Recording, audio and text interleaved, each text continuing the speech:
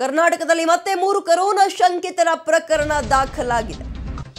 ಅಮೆರಿಕದಿಂದ France ಮೂಲಕ ಬಂದಿದ್ದ ವ್ಯಕ್ತಿಗೆ ಈಗ ಕರೋನಾ ಶಂಕೆ ಕಾಡ್ತಾ ಇದೆ. ಕೆಂಪೇಗೌಡ ಏರ್ಪೋರ್ಟ್ ಮೂಲಕ ಬೆಂಗಳೂರಿಗೆ ಆ ವ್ಯಕ್ತಿ ಬಂದಿದ್ರು. ಆತನಿಗೆ ಗಂಟಲು ನೋವು, ನೆಗಡಿ, ಕೆಮ್ಮು ಹಿನ್ನೆಲೆಯಲ್ಲಿ ಚಿಕಿತ್ಸೆಯನ್ನು ಕೊಡಲಾಗ್ತಾ ಇದೆ.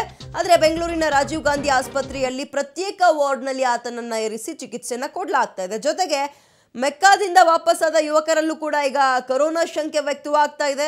ವಿಜಯಪುರದ ಯುವಕನಿಗೂ ಜಿಲ್ಲಾಸ್ಪತ್ರೆಯಲ್ಲಿ ಪ್ರತ್ಯೇಕ ವಾರ್ಡ್ನಲ್ಲಿ ಇರಿಸಿ ಚಿಕಿತ್ಸೆಯನ್ನು ಕೊಡಲಾಗ್ತಾ ಇದೆ.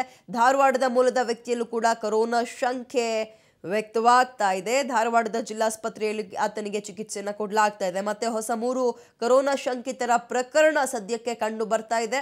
ಅವ್ರನ್ನ ಐಸೋಲೇಷನ್ ಅಥವಾ ಪ್ರತ್ಯೇಕ ವಾರ್ಡ್ನಲ್ಲಿ ಇರಿಸಿ ಒಂದು ಟ್ರೀಟ್ಮೆಂಟನ್ನು ಕೊಡಲಾಗ್ತಾ ಇದೆ ಸದ್ಯ.